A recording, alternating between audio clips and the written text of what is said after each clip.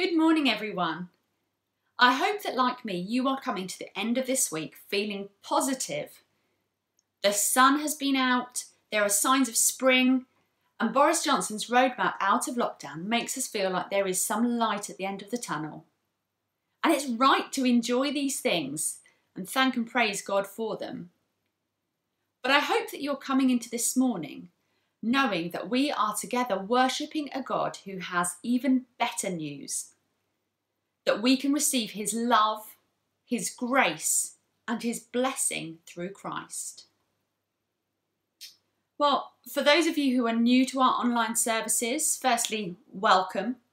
Um, this morning will include some songs, some prayers, some set words or liturgy, a talk and activity for children, and a sermon aimed more at older children and adults. Now, we know that doing church at home feels a bit weird, but you do get used to it. And hopefully, it won't be too long until we can meet face to face on a Sunday. Now, during this term, we'll be taking occasional breaks from our series in John's Gospel to consider our intentions to be a church that is a loving community growing in Jesus Christ by word and spirit. We've already considered what it means to be a loving community, and this morning we're looking at the second part of our strapline growing in Jesus Christ. A bit later on, our pastor, John Parker, will be preaching to us and helping us to see that as a church we should be seeking to be growing in number and in unity, both in Christ. But for now, let's sing together and remind ourselves that despite being in different places this morning, we are one in Christ.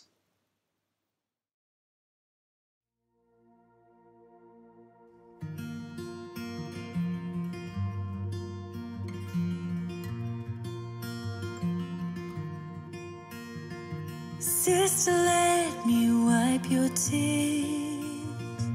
Brother, let me bear your fears. Come on, every daughter, every son. Let us walk in love, for we are one. Though we walk along an broken road, we are here to bear each other's load and forgive as you've us walk in love,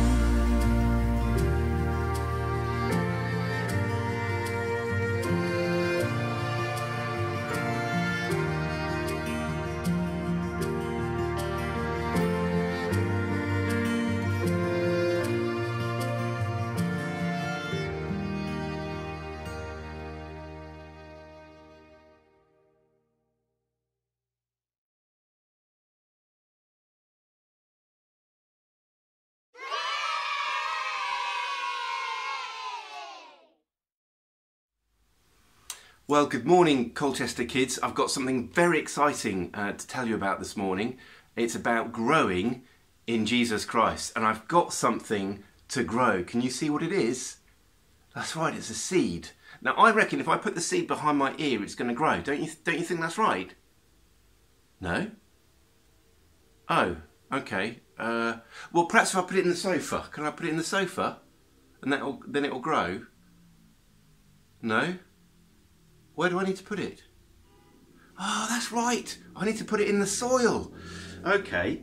And then once, once I put it in the soil, then I can put something on it. How about some peach squash? Would that would that be good? Would that help it grow?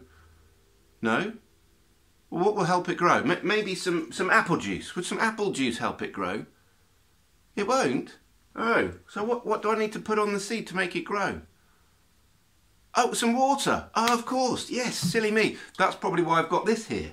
So, this morning, what's exciting is I've got some special seeds. They're seeds that teach us about the gospel, the good news about Jesus being king and dying on the cross for our sins and rising again to give us new life so that we can be with him in heaven and he can be our friend. It's great, great news, gospel seeds.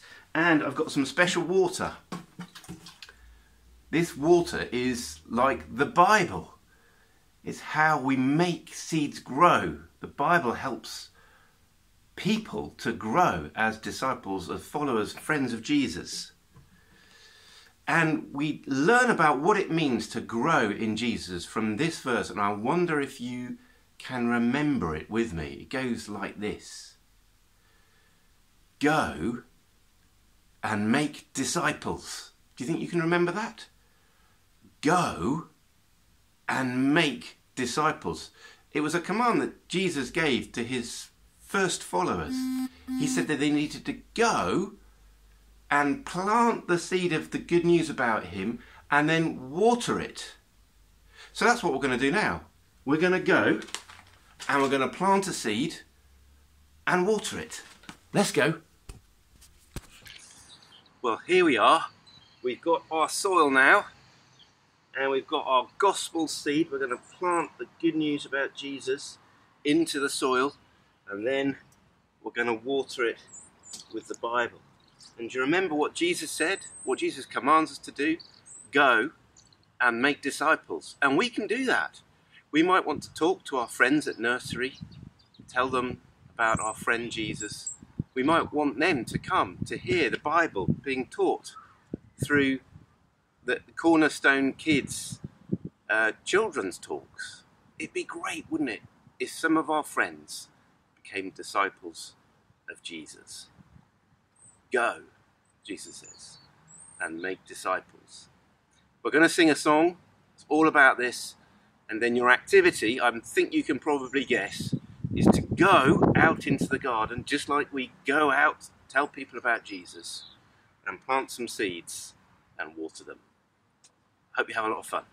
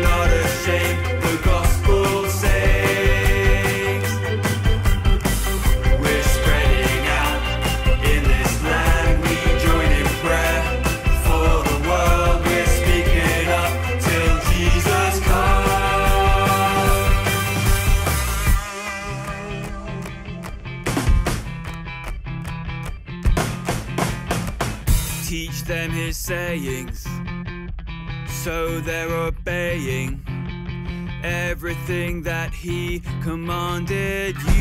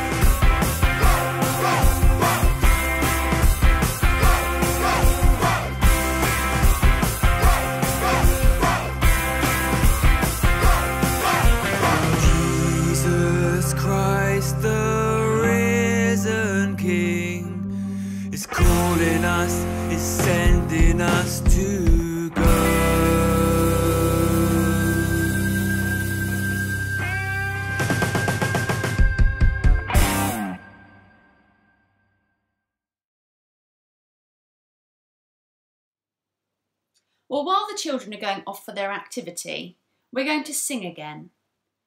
We know that God's word in the Bible is powerful, and this next song is a prayer asking God to work in us as individuals and as a church as we hear His word read and have it explained to us, restoring us, renewing us, reviving us. Let's sing.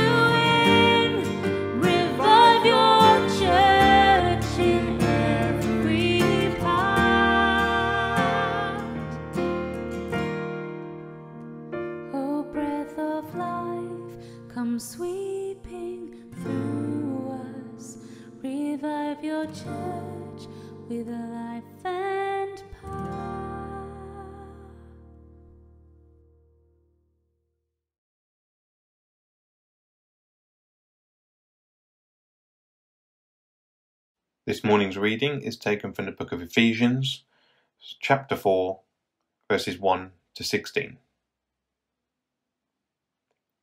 I therefore, a prisoner for the Lord, urge you to walk in a manner worthy of the calling to which you have been called, with all humility and gentleness, with patience, bearing with one another in love, eager to maintain the unity of the Spirit in the bond of peace. There is one body and one Spirit just as you were called to the one hope that belongs to your call. One Lord, one faith, one baptism, one God and Father of all, who is over all, and through all, and in all. But grace was given to each one of us according to the measure of Christ's gifts. Therefore it says, When he ascended on high, he led a host of captives, and he gave gifts to men. In saying he ascended, what does it mean but he had also descended into the lower regions, the earth? He who descended is the one who also ascended far above all the heavens, that he might fill all things. And he gave the apostles, the prophets, the evangelists, the shepherds, and teachers to equip the saints for the work of ministry, for building up the body of Christ, until we all attain to the unity of the faith and of the knowledge of the Son of God, to mature manhood, to the measure of the stature of the fullness of Christ, that we may no longer be children, tossed to and fro by the waves and carried about by every wind of doctrine, by human cunning, by craftiness in deceitful schemes.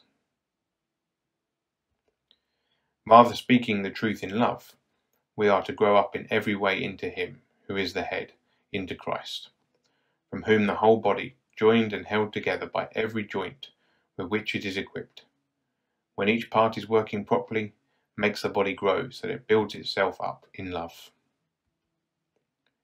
This is the word of the Lord. Thanks be to God.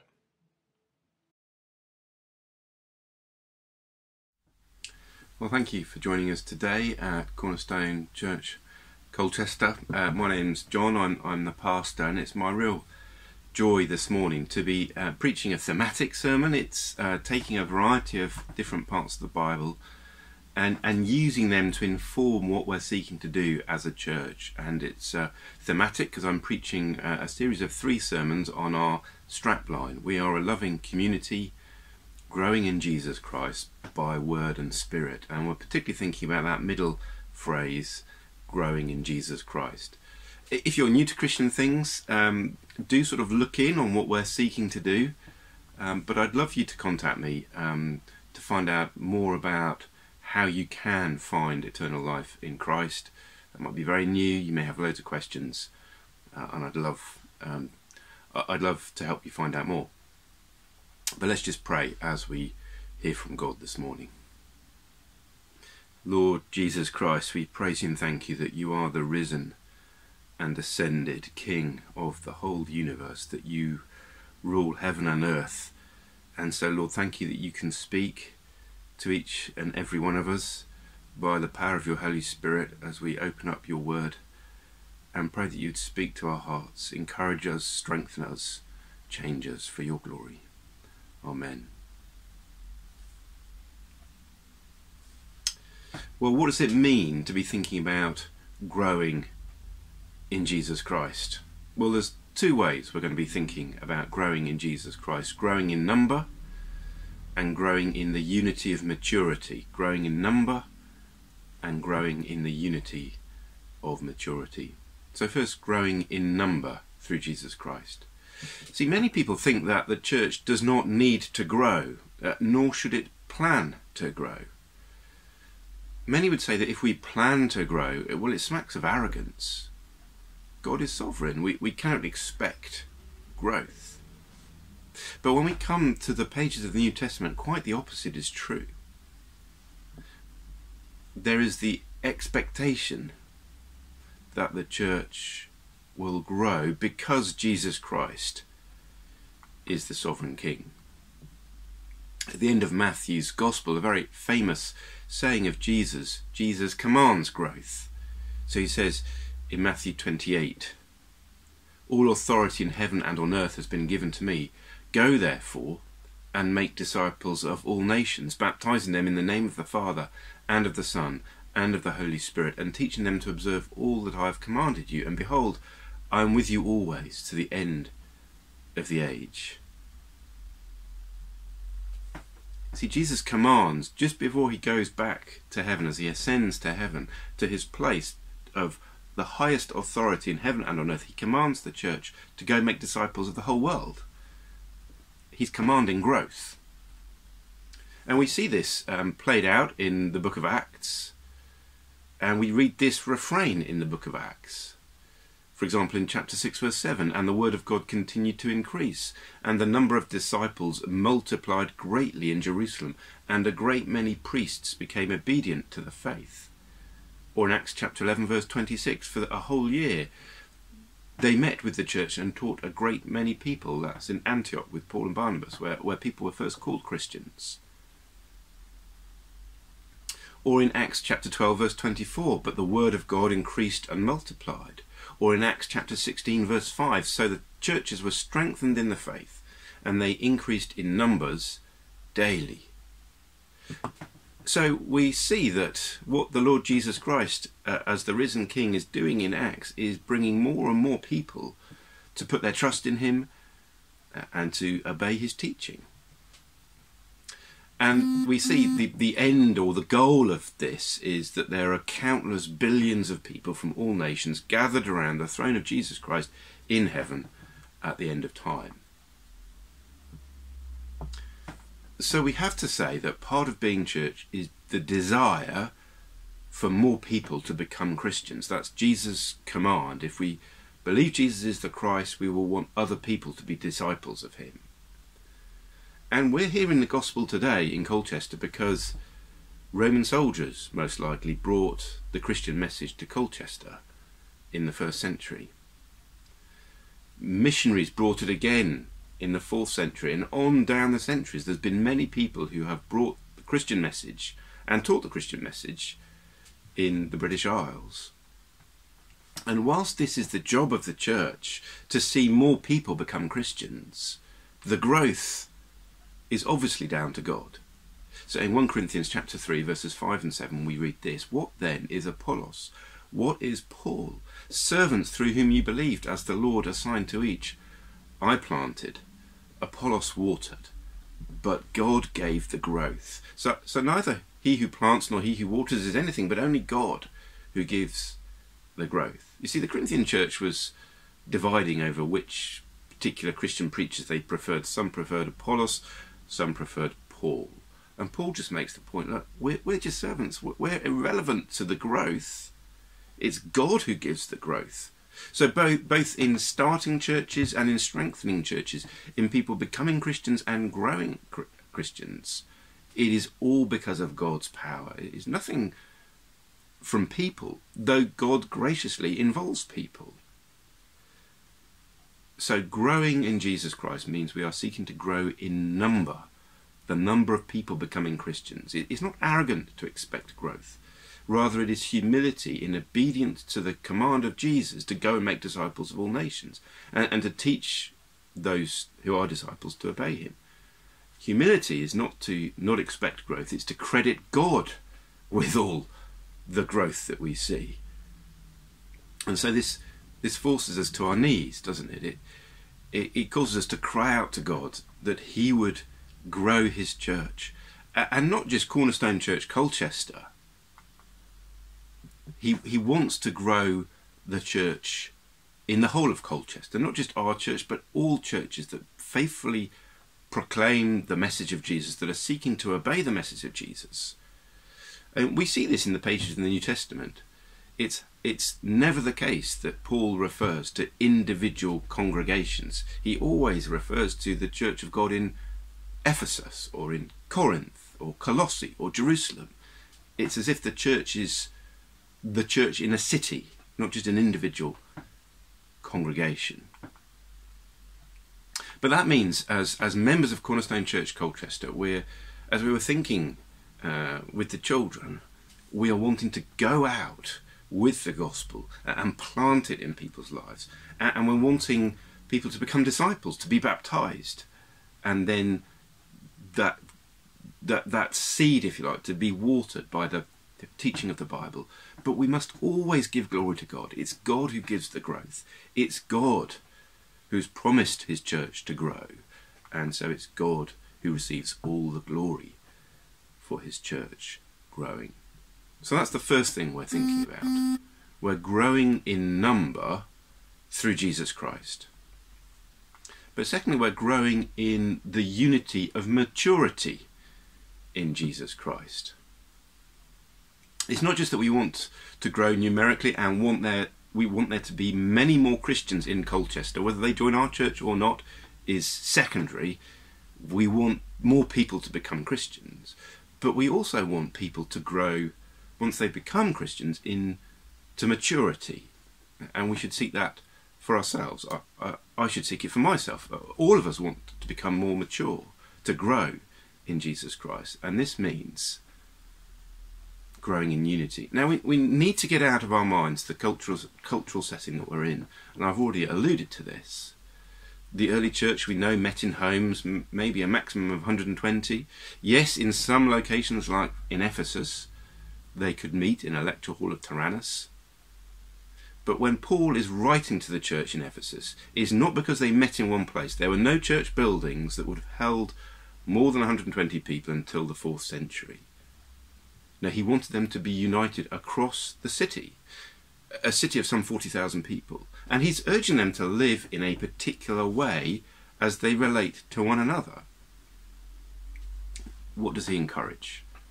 Well, first of all, he encourages them to preserve unity. So be encouraged to preserve the unity we have. Be encouraged to preserve the unity we have. And this is when uh, it'd be really helpful to me if you could turn to Ephesians 4 and follow along if you haven't been following uh, other passages that I've quoted thus far. So Paul begins I, therefore, a prisoner for the Lord, urge you, urge you to walk in a manner worthy of the calling which you have, to which you have been called. This, this refers back to the choice that God had made of the Ephesian Christians who'd been converted out of paganism into the Christian life. He said, Look, you've been chosen, you, you've been called. Now live out the purpose of God's choosing of you. And what does that mean? Well, it means that they are to have certain character, a certain character. Verse 2 with all humility and gentleness, with patience, bearing with one another in love. That's the kind of character that a Christian was to have uh, in their relationships with other Christians. And he says that they're to be eager to maintain the unity of the Spirit in the bond of peace. Well, why? Why are we so uh, to, to have this kind of character, a humble and gentle and patient character? Why are we to bear with one another in love in church life when there's often frustrations? Why are we to be eager to maintain the unity of the Spirit by, by peaceful relationships with one another and peaceful relationships with other Christians in Colchester? Well, Paul explains, and it's stunning. There is one body and one Spirit, just as you were called to the one hope that belongs to your call, one Lord, one faith, one baptism, one God and Father of all, who is over all and through all and in all. Of course, Paul is referring to the Christians in Ephesus, and he's saying very clearly, we can't, can't miss it, can we?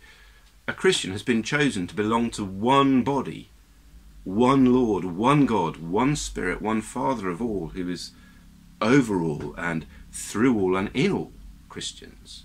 We, we, we can't miss that. And he's saying, look, make every effort to keep that unity. That's what you've been chosen for, to be part of the one universal church.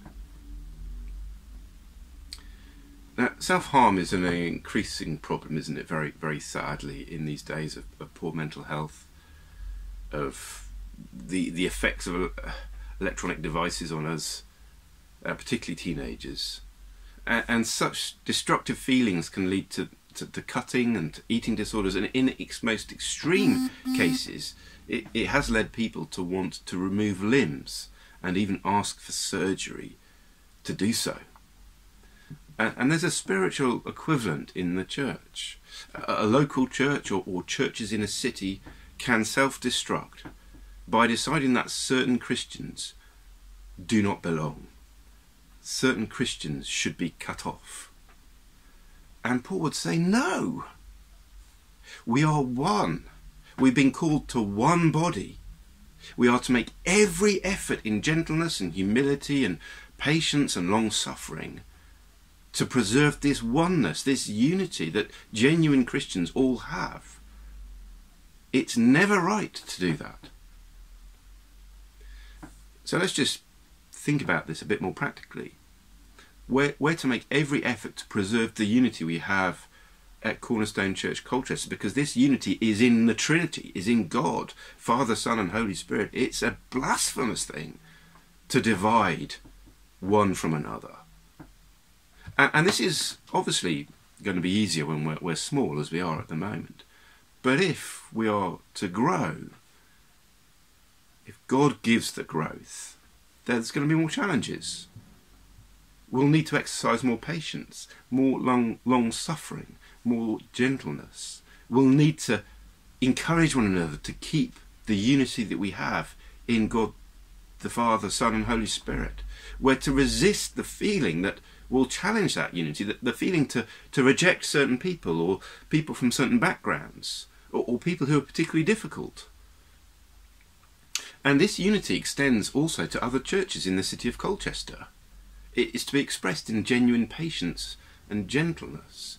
We are to aim to work with all other faithful churches, and that will bring frustrations.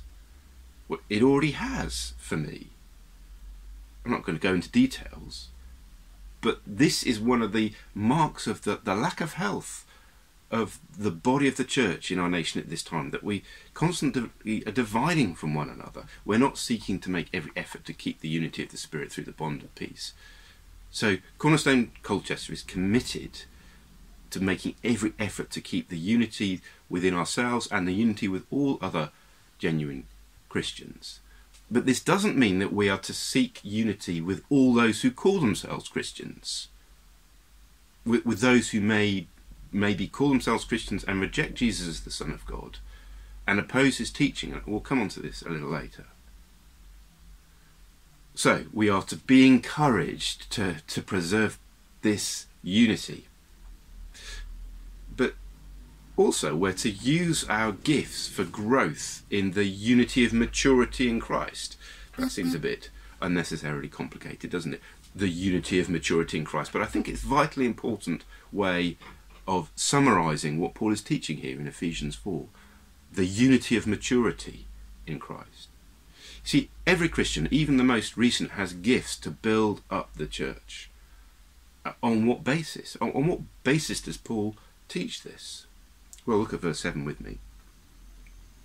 But grace was given to each one of us according to the measure of Christ's gift. See, Paul emphasizes each one. He's not talking about the grace of salvation that called us, that God uh, has expressed in saving us. No, this is the grace, God's generosity to us in the, the talents, the gifts, the, the abilities that we have that are given by the Holy Spirit to build up the church so that we all reach maturity, so that more people join us and become Christians. But we may say, oh, but you know, my gifts are not that impressive. Well, who is it who has given them to you? Look again at verse 7.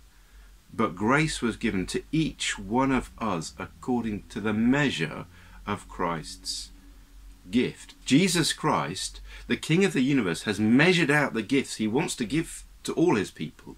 He has given you gifts. And then Paul quotes from the Old Testament and explains why it is that Jesus has done this. So, verse 8 Therefore it says, When he ascended on high, he led a host of captives and he gave gifts to men or to people. See, when Jesus Christ ascended into heaven, having defeated the devil, ha- having dealt with our sin and death on the cross, having been raised from the dead to, to new life, he ascended to the, the place of highest authority in heaven and on earth. And from there, as a victorious king, he's given gifts to his people. How able is he to give us gifts? Well, Paul then some, says something that stretches our minds. He says, in saying he ascended, what does it mean but that he also descended into the lower regions, the earth?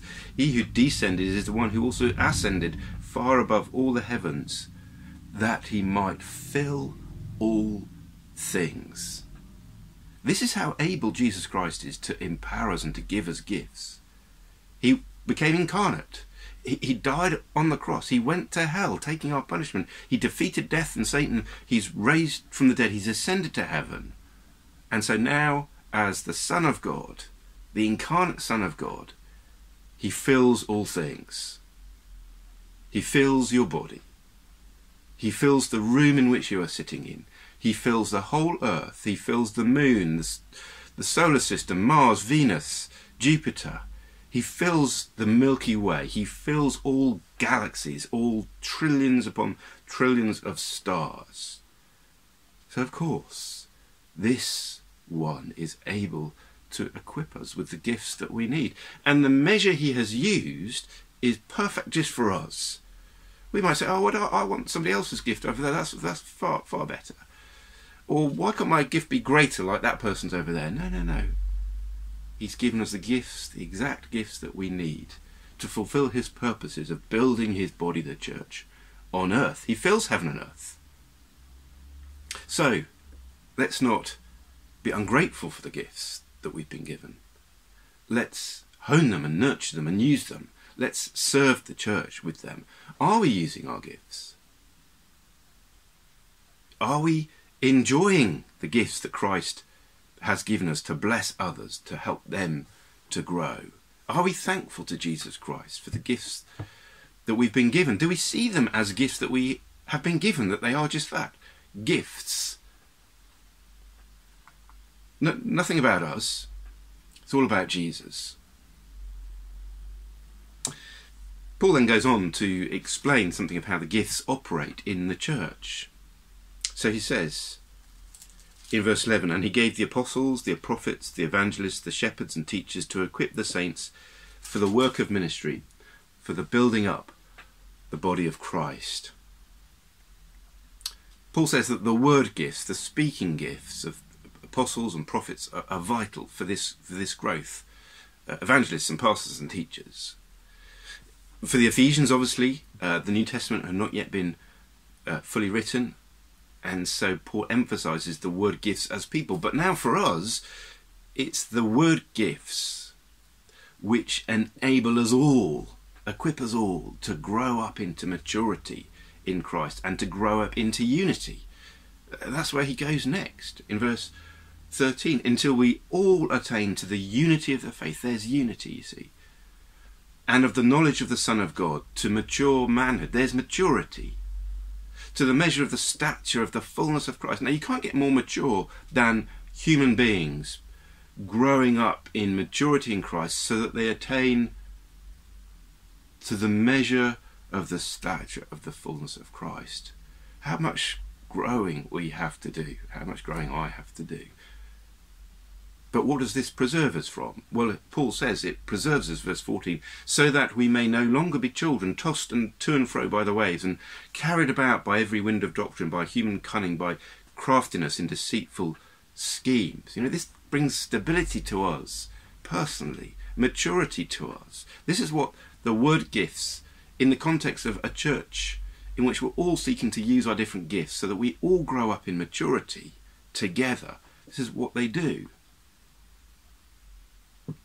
And it preserves us individually and as a church from being vulnerable to the deceitful schemes of people, to false teaching. Now, I don't know if you read about the reports of a man who fell into the sea.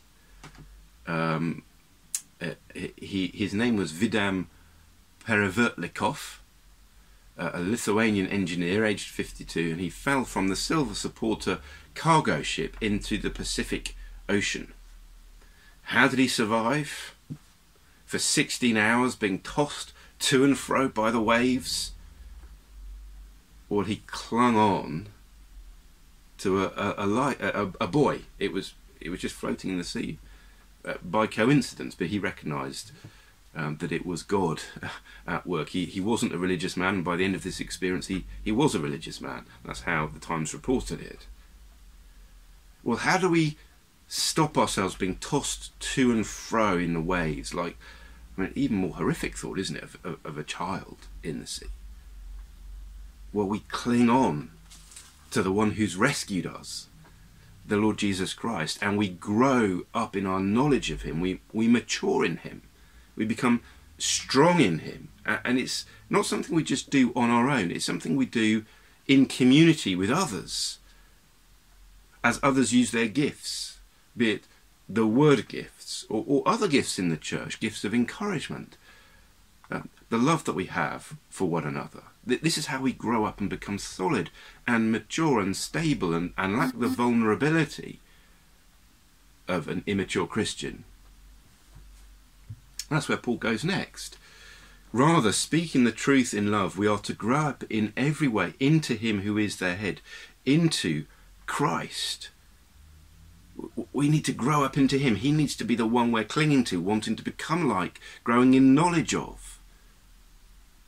And it's from whom the whole body, joined and held together by every joint with which it is equipped, when each part is working properly, makes the body grow so that it builds itself up in love. See, I, I worry about people who think that the Christian life is an individualistic life, a, life of self improvement. No, it's one of being in relationship with others, speaking the truth in love to one another, helping one another to use our gifts, helping one another to be gentle and to be bearing with one another, to be humble, to be growing up into the fullness of Christ like character. That takes time. And it comes through speaking the truth in love. It's a community project. It's not self improvement. And this is where Paul ends. He, he ends saying that we are together to grow up into Him who is the head. That is Christ. We're, we're to use our gifts together. Yes, as we follow what the Bible teaches, as we put into practice what we hear through word ministry. But that's how we're equipped, how each part works properly, so that we all grow up into unity.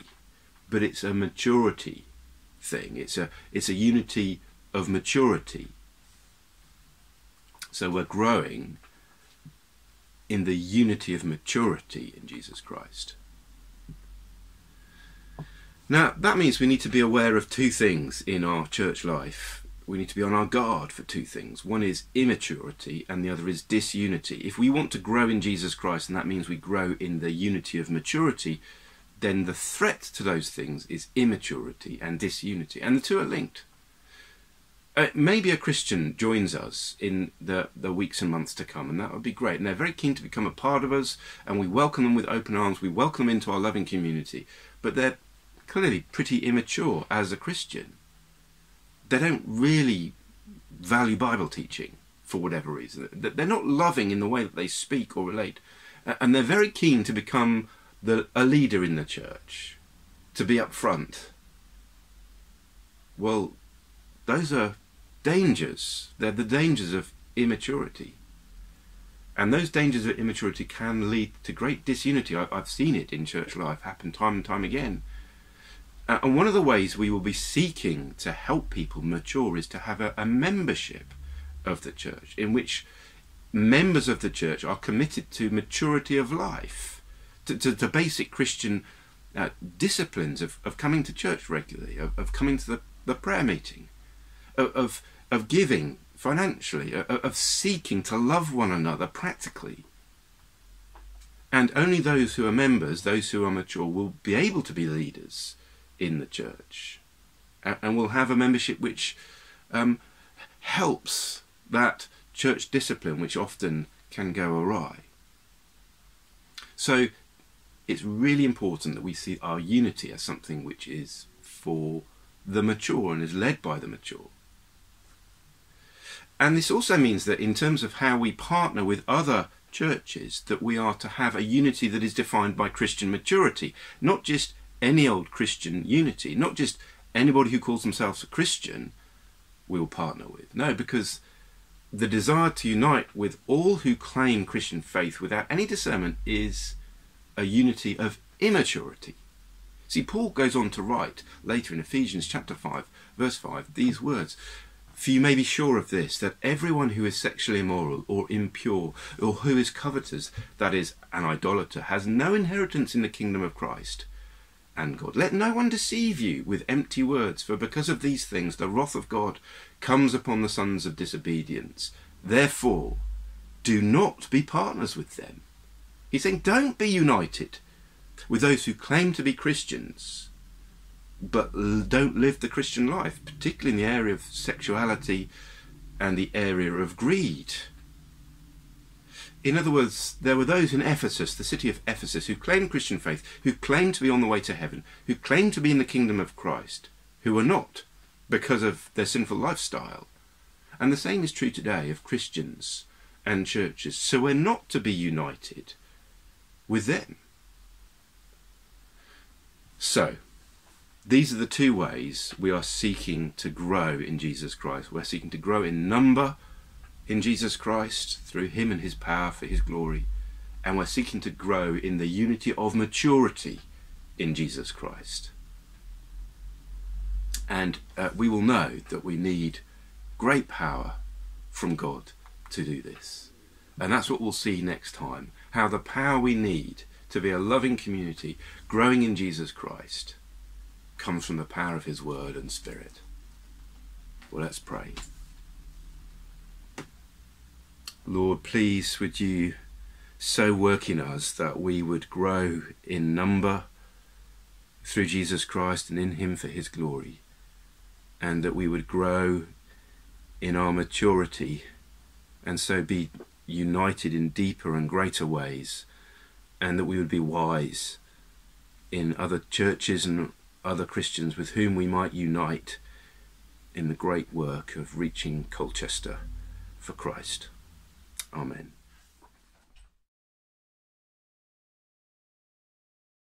Most merciful God, we confess that we have sinned against you in thought, word, and deed, by what we have done and by what we have left undone.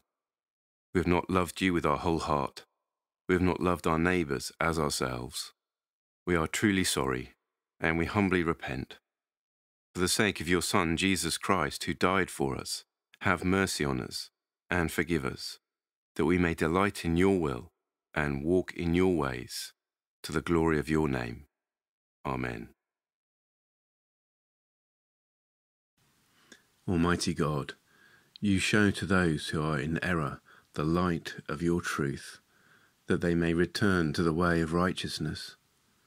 Grant to all those who are admitted into the fellowship of Christ's religion that they may reject those things that are contrary to their profession, and follow all such things as are agreeable to the same, through our Lord Jesus Christ, who is alive and reigns with you in the unity of the Holy Spirit, one God, now and forever. Amen.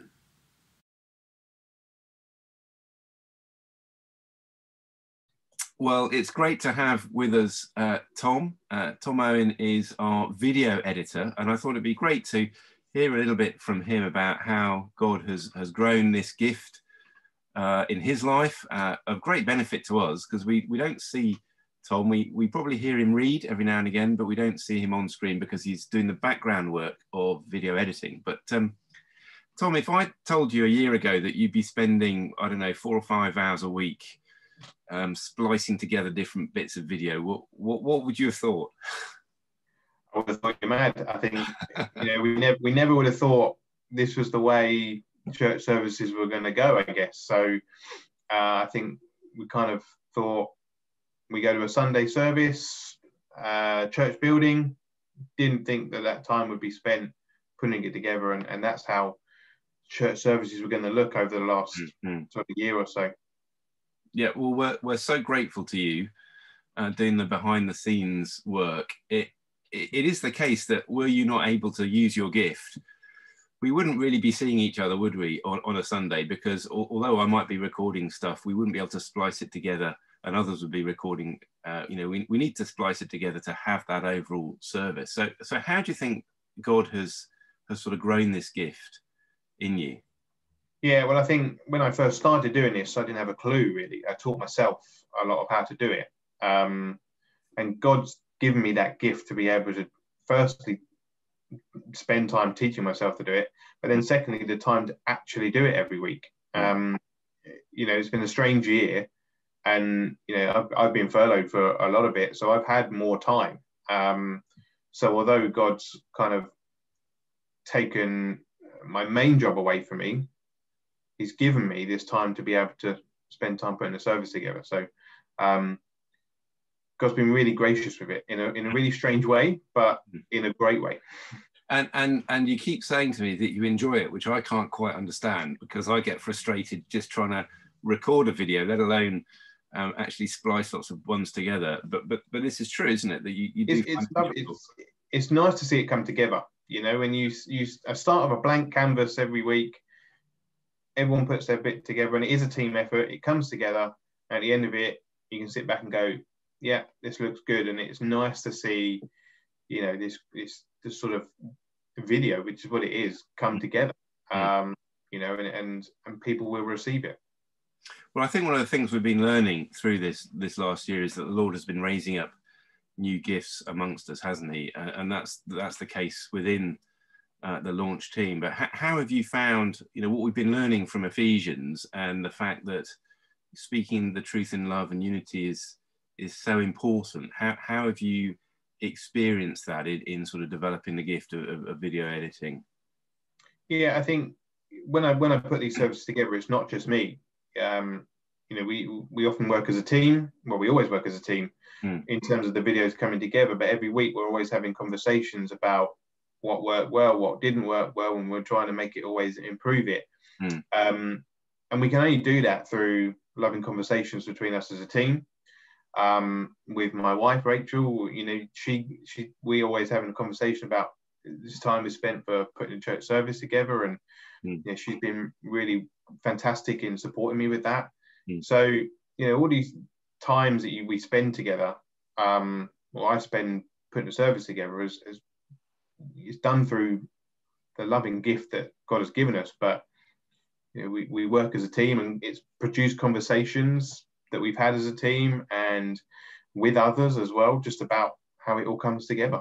Yeah, I, th- I think I think that's right. I think that's been one of the joys of the last year, hasn't it? Is, is seeing how the Lord has been developing amongst us a deep unity through you know the challenges we've faced, but also the conversations we've needed to have, uh, being patient with one another, uh, loving. You know, it takes humility, doesn't it, to take feedback, which I think is always important when, whenever we're putting something together. And you've been great at that, and then being able to sort of build in different views to make things better as we've gone along. And so, I think we're all just really pleased at the end result. And uh, yeah, so thank you for all that you've been doing. I thought I thought it'd be good on the back of just hearing a little bit from you to just to pray because um, again in Ephesians we've been hearing about the Lord Jesus Christ fills the universe. He's Lord of time and He's given you more time. Um, but it'd be good to be um, praying. So I'll sort of kick us off, um, and then you're going to pray, and then I'll finish. But let, let's let's pray. Let's pray. Lord Jesus Christ, we, we praise you and thank you that you are the victorious King, that you have ascended in victory to heaven, uh, that you went down to the lowest place on earth when you died on the cross, that you paid uh, hell for us, and yet now you have all authority in heaven and on earth. And we praise you that you, you give gifts to your people. And we, we praise you and thank you for the gifts that you've given us. And uh, Lord, we pray that you would uh, continue um, to give us gifts in your precious name. Amen. Lord, we're so thankful for many of the gifts that you have uh, provided to us as, as not just me individually, but as a team. Um, we're so thankful that we're able to use these gifts that you provide us to, to grow and to build Cornerstone Church Colchester. uh, and we're doing it so that your word can be received by others. So, Lord, just pray that you please uh, provide us uh, with all these gifts and that we need now and uh, for the future, Lord. Mm. And we just pray this in your name. Amen. Amen. And Father, as we read in Ephesians 4 that the gifts that you've given us from the risen and ascended Lord Jesus are uh, to grow in our maturity, to grow in our unity, in our likeness to the Lord Jesus Christ, we pray that you continue to help us to speak the truth in love, particularly in the weeks and months ahead when uh, lockdown lifts in, in, in your will. Lord, we, we are looking forward to being able to, to meet in person. Maybe we're looking forward to uh, growing in number and, and growing in our ability to, to love one another. Uh, and yet, Lord, we pray that you would uh, strengthen that unity in us, keep us humble, keep us patient, keep us uh, bearing with one another in love. Help us to remember the unity that we have in you, our God, Father, Son, and Holy Spirit. And please help us to grow in unity, um, not just within uh, ourselves as a church, but also with other churches uh, that are faithful uh, to you. And we pray all these things that your kingdom may grow, that more people may know you, Lord Jesus, and that we may all grow up into you. And we pray this for your glory's sake. Amen.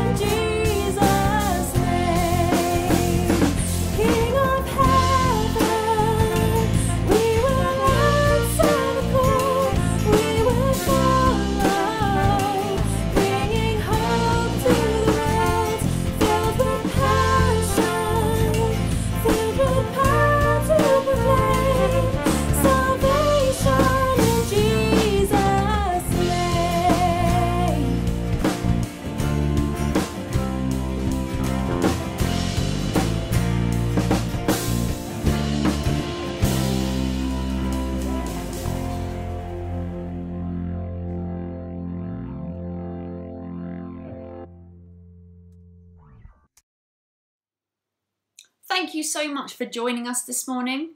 I hope you'll be able to join us for our Zoom coffee and chat too. If you don't already have the link, then please do email us now. The address is pastor at cornerstonecolchester.co.uk. But as we finish, let me just close with these words from 2 Peter. May grace and peace be multiplied to you in the knowledge of God and of Jesus our Lord. His divine power has granted to us all things that pertain to life and godliness through the knowledge of Him who called us to His own glory and excellence. Well, I hope you have a lovely Sunday, and we'll see you next week, if not before.